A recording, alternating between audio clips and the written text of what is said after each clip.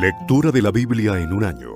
Nueva versión internacional para hoy, 4 de noviembre. Lucas, capítulo 22. Se aproximaba la fiesta de los panes sin levadura, llamada la Pascua. Los jefes de los sacerdotes y los maestros de la ley buscaban algún modo de acabar con Jesús, porque temían al pueblo.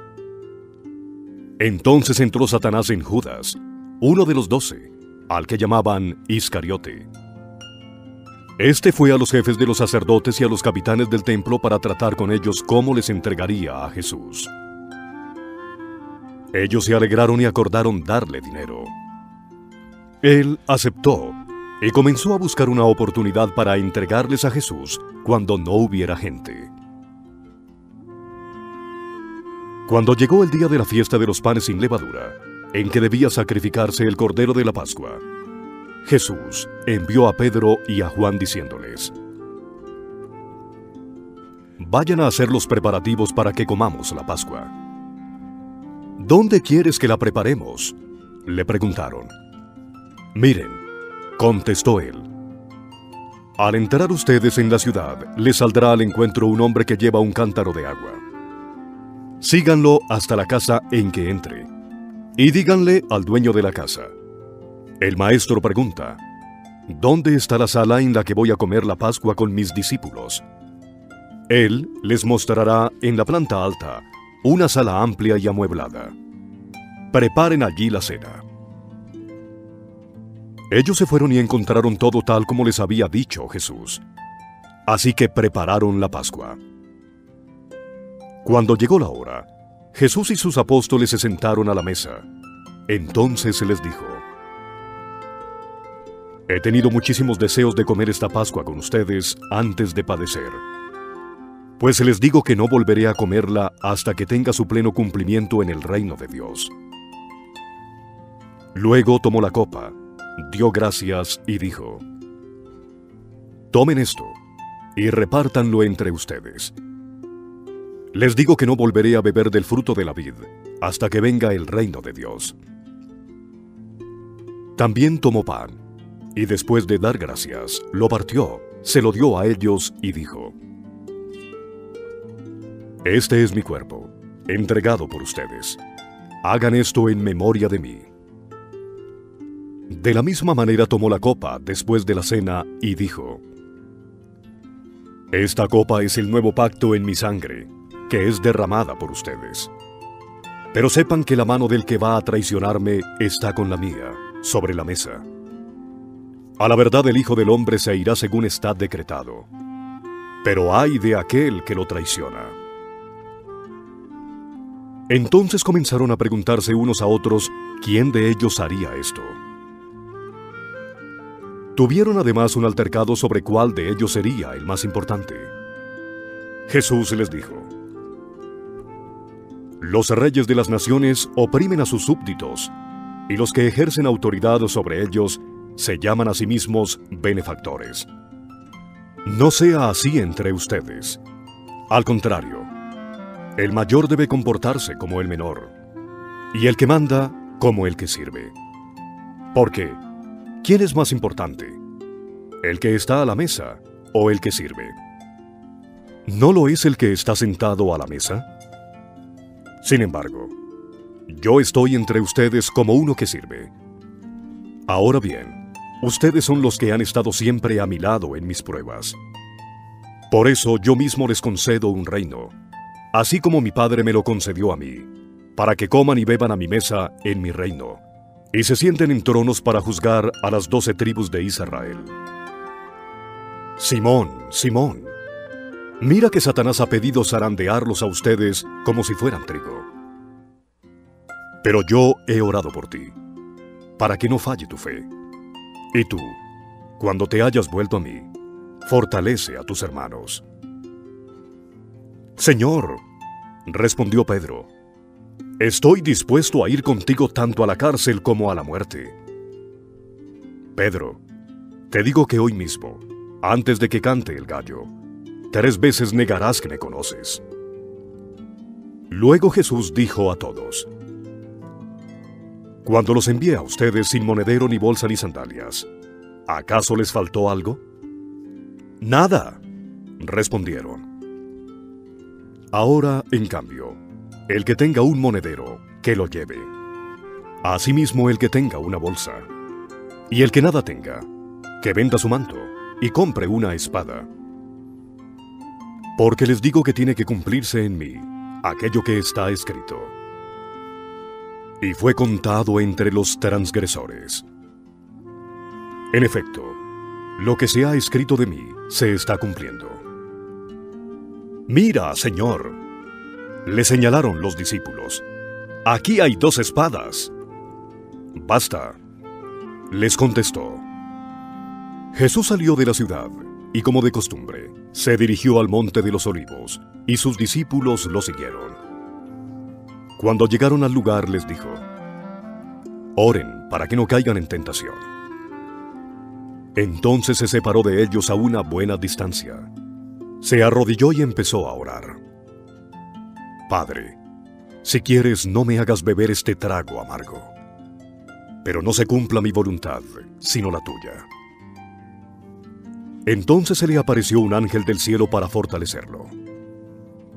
Pero como estaba angustiado, se puso a orar con más fervor, y su sudor era como gotas de sangre que caían a tierra. Cuando terminó de orar y volvió a los discípulos, los encontró dormidos, agotados por la tristeza. ¿Por qué están durmiendo? Les exhortó, levántense y oren para que no caigan en tentación.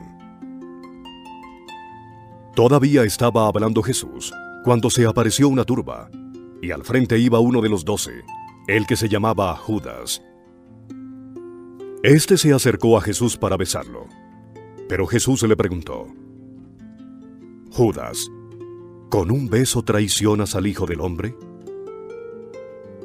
Los discípulos que lo rodeaban, al darse cuenta de lo que pasaba, dijeron, Señor, ¿atacamos con la espada? Y uno de ellos hirió al siervo del sumo sacerdote, cortándole la oreja derecha. Déjenlos, ordenó Jesús. Entonces le tocó la oreja al hombre y lo sanó. Luego dijo a los jefes de los sacerdotes, a los capitanes del templo y a los ancianos que habían venido a prenderlo. ¿Acaso soy un bandido para que vengan contra mí con espadas y palos? Todos los días estaba con ustedes en el templo, y no se atrevieron a ponerme las manos encima. Pero ya ha llegado la hora de ustedes, cuando reinan las tinieblas. Prendieron entonces a Jesús y lo llevaron a la casa del sumo sacerdote. Pedro lo seguía de lejos. Pero luego, cuando encendieron una fogata en medio del patio y se sentaron alrededor, Pedro se les unió. Una criada lo vio allí sentado a la lumbre. Lo miró detenidamente y dijo, Este estaba con él. Pero él lo negó. Muchacha, yo no lo conozco. Poco después lo vio otro y afirmó, Tú también eres uno de ellos. No, hombre, no lo soy contestó Pedro. Como una hora más tarde, otro lo acusó. Seguro que éste estaba con él. Miren que es Galileo. Hombre, no sé de qué estás hablando, replicó Pedro. En el mismo momento en que dijo eso, cantó el gallo. El Señor se volvió y miró directamente a Pedro. Entonces Pedro se acordó de lo que el Señor le había dicho. Hoy mismo, antes de que el gallo cante, me negarás tres veces. Y saliendo de allí, lloró amargamente. Los hombres que vigilaban a Jesús comenzaron a burlarse de él y a golpearlo. Le vendaron los ojos y le increpaban. ¡Adivina quién te pegó! Y le lanzaban muchos otros insultos.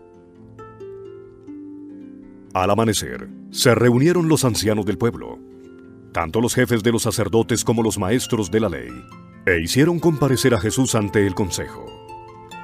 Si eres el Cristo, dínoslo, le exigieron. Jesús les contestó, Si se lo dijera a ustedes, no me lo creerían. Y si les hiciera preguntas, no me contestarían.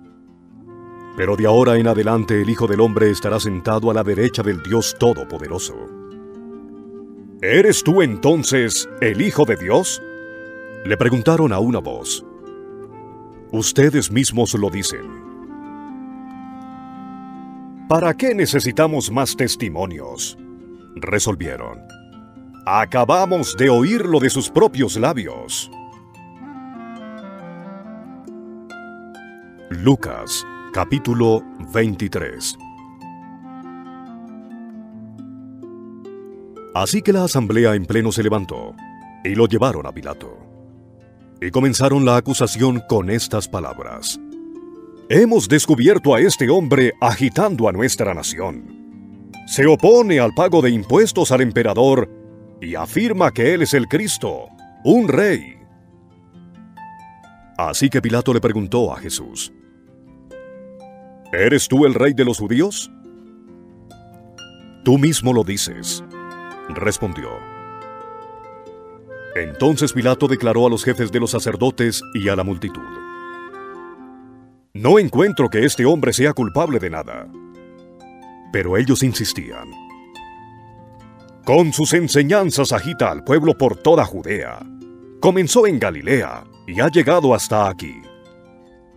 Al oír esto, Pilato preguntó si el hombre era Galileo. Cuando se enteró de que pertenecía a la jurisdicción de Herodes, se lo mandó a él, ya que en aquellos días también Herodes estaba en Jerusalén. Al ver a Jesús, Herodes se puso muy contento. Hacía tiempo que quería verlo por lo que oía acerca de él, y esperaba presenciar algún milagro que hiciera Jesús. Lo acosó con muchas preguntas, pero Jesús no le contestaba nada. Allí estaban también los jefes de los sacerdotes y los maestros de la ley, acusándolo con vehemencia.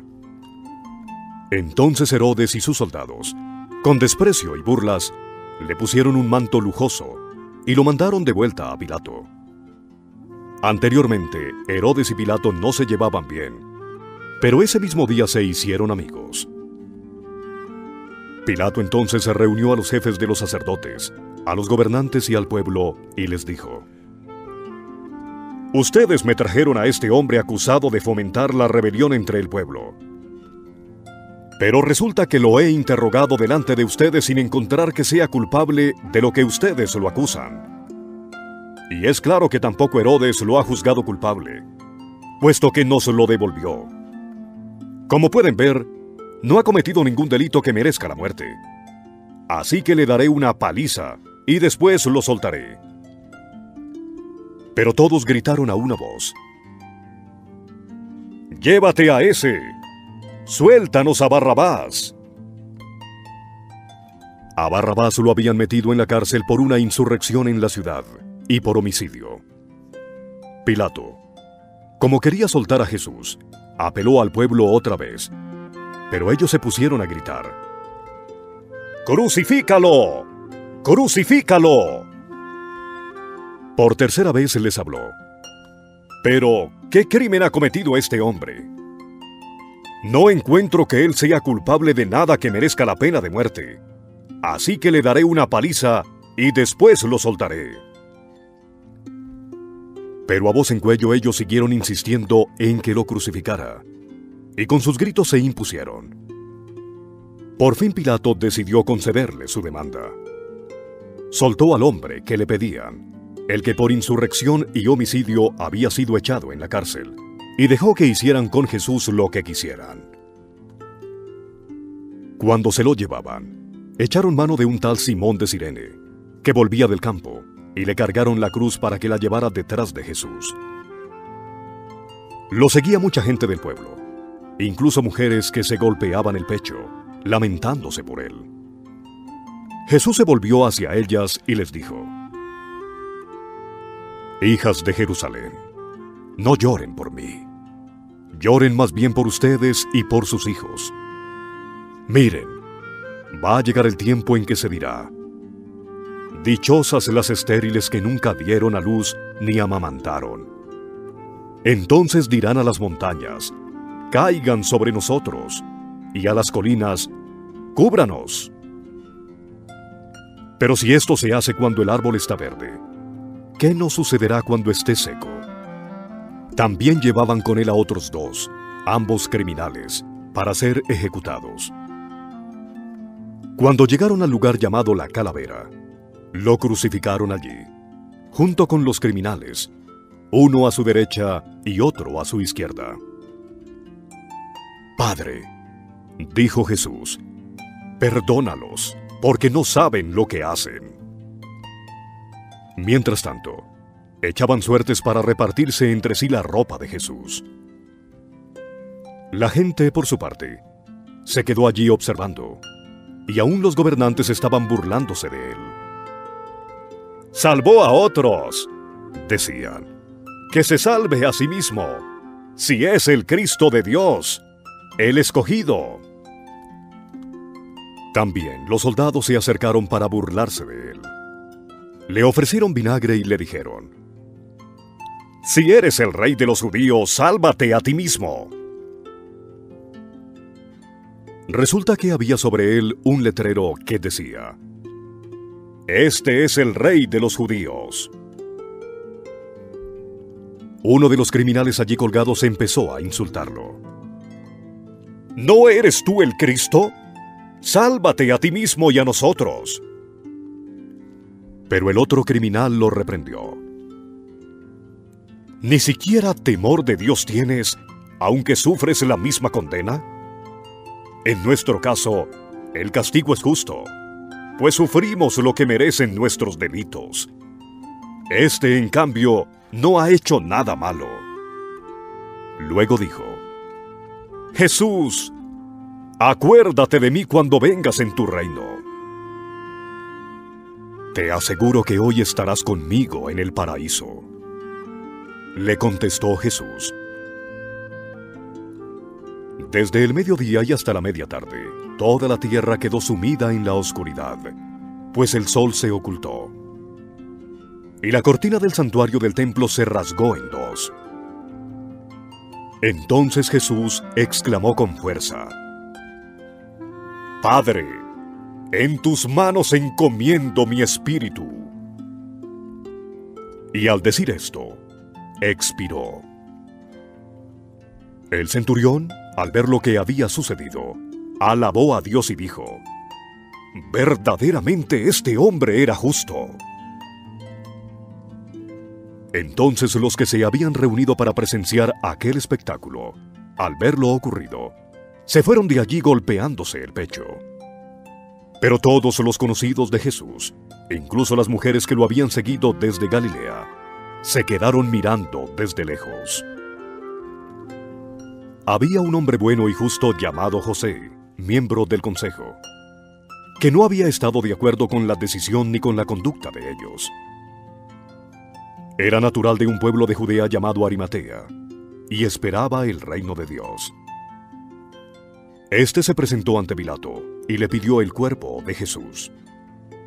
Después de bajarlo, lo envolvió en una sábana de lino y lo puso en un sepulcro cavado en la roca, en el que todavía no se había sepultado a nadie. Era el día de preparación para el sábado, que estaba a punto de comenzar. Las mujeres que habían acompañado a Jesús desde Galilea siguieron a José para ver el sepulcro y cómo colocaban el cuerpo. Luego volvieron a casa y prepararon especias aromáticas y perfumes. Entonces descansaron el sábado, conforme al mandamiento. Lucas, capítulo 24 El primer día de la semana, muy de mañana, las mujeres fueron al sepulcro, llevando las especias aromáticas que habían preparado. Encontraron que había sido quitada la piedra que cubría el sepulcro y al entrar, no hallaron el cuerpo del Señor Jesús. Mientras se preguntaban qué habría pasado, se les presentaron dos hombres con ropas resplandecientes. Asustadas, se postraron sobre su rostro, pero ellos les dijeron, ¿Por qué buscan ustedes entre los muertos al que vive? No está aquí, ha resucitado. Recuerden lo que les dijo cuando todavía estaba con ustedes en Galilea. El Hijo del Hombre tiene que ser entregado en manos de hombres pecadores y ser crucificado, pero al tercer día resucitará. Entonces ellas se acordaron de las palabras de Jesús. Al regresar del sepulcro, les contaron todas estas cosas a los once y a todos los demás. Las mujeres eran María Magdalena, Juana, María la madre de Jacobo, y las demás que las acompañaban. Pero a los discípulos el relato les pareció una tontería, así que no les creyeron. Pedro, sin embargo, salió corriendo al sepulcro. Se asomó y vio solo las vendas de lino. Luego volvió a su casa, extrañado de lo que había sucedido. Aquel mismo día dos de ellos se dirigían a un pueblo llamado Emaús, a unos 11 kilómetros de Jerusalén. Iban conversando sobre todo lo que había acontecido. Sucedió que, mientras hablaban y discutían, Jesús mismo se acercó y comenzó a caminar con ellos, pero no lo reconocieron, pues sus ojos estaban velados. ¿Qué vienen discutiendo por el camino? Les preguntó. Se detuvieron cabizbajos y uno de ellos, llamado Cleofas, le dijo, ¿Eres tú el único peregrino en Jerusalén que no se ha enterado de todo lo que ha pasado recientemente? ¿Qué es lo que ha pasado? Les preguntó. Lo de Jesús de Nazaret. Era un profeta poderoso en obras y en palabras delante de Dios y de todo el pueblo. Los jefes de los sacerdotes y nuestros gobernantes lo entregaron para ser condenado a muerte y lo crucificaron. Pero nosotros abrigábamos la esperanza de que era Él quien redimiría a Israel. Es más, ya hace tres días que sucedió todo esto. También algunas mujeres de nuestro grupo nos dejaron asombrados. Esta mañana, muy temprano, fueron al sepulcro pero no hallaron su cuerpo. Cuando volvieron, nos contaron que se les habían aparecido unos ángeles quienes les dijeron que Él está vivo. Algunos de nuestros compañeros fueron después al sepulcro y lo encontraron tal como habían dicho las mujeres, pero a Él no lo vieron. ¡Qué torpes son ustedes! les dijo. ¿Y qué tardos de corazón para creer todo lo que han dicho los profetas? ¿Acaso no tenía que sufrir el Cristo estas cosas antes de entrar en su gloria? Entonces, comenzando por Moisés y por todos los profetas, les explicó lo que se refería a él en todas las escrituras. Al acercarse al pueblo a donde se dirigían, Jesús hizo como que iba más lejos, pero ellos insistieron. Quédate con nosotros, que está atardeciendo, ya casi es de noche. Así que entró para quedarse con ellos. Luego, estando con ellos a la mesa, tomó el pan, lo bendijo, lo partió y se lo dio. Entonces se les abrieron los ojos y lo reconocieron. Pero él desapareció. Se decían el uno al otro. ¿No ardía nuestro corazón mientras conversaba con nosotros en el camino y nos explicaba las escrituras? Al instante se pusieron en camino y regresaron a Jerusalén. Allí encontraron a los once y a los que estaban reunidos con ellos. Es cierto, el Señor ha resucitado y se ha aparecido a Simón. Los dos, por su parte, contaron lo que les había sucedido en el camino y cómo habían reconocido a Jesús cuando partió el pan. Todavía estaban ellos hablando acerca de esto cuando Jesús mismo se puso en medio de ellos y les dijo, Paz a ustedes. Aterrorizados, creyeron que veían a un espíritu. ¿Por qué se asustan tanto? Les preguntó. ¿Por qué les vienen dudas? Miren mis manos y mis pies. Soy yo mismo. Tóquenme y vean. Un espíritu no tiene carne ni huesos, como ven que los tengo yo. Dicho esto, les mostró las manos y los pies. Como ellos no acababan de creerlo a causa de la alegría y del asombro, les preguntó, ¿Tienen algo de comer? Le dieron un pedazo de pescado asado, así que lo tomó y se lo comió delante de ellos. Luego les dijo, Cuando todavía estaba yo con ustedes, les decía que tenía que cumplirse todo lo que está escrito acerca de mí en la ley de Moisés, en los profetas y en los salmos. Entonces les abrió el entendimiento para que comprendieran las escrituras. Esto es lo que está escrito, les explicó. Que el Cristo padecerá y resucitará al tercer día, y en su nombre se predicarán el arrepentimiento y el perdón de pecados a todas las naciones, comenzando por Jerusalén. Ustedes son testigos de estas cosas. Ahora voy a enviarles lo que ha prometido mi Padre. Pero ustedes quédense en la ciudad hasta que sean revestidos del poder de lo alto. Después los llevó Jesús hasta Betania. Allí alzó las manos y los bendijo. Sucedió que, mientras los bendecía, se alejó de ellos y fue llevado al cielo. Ellos entonces lo adoraron y luego regresaron a Jerusalén con gran alegría. Y estaban continuamente en el templo, alabando a Dios.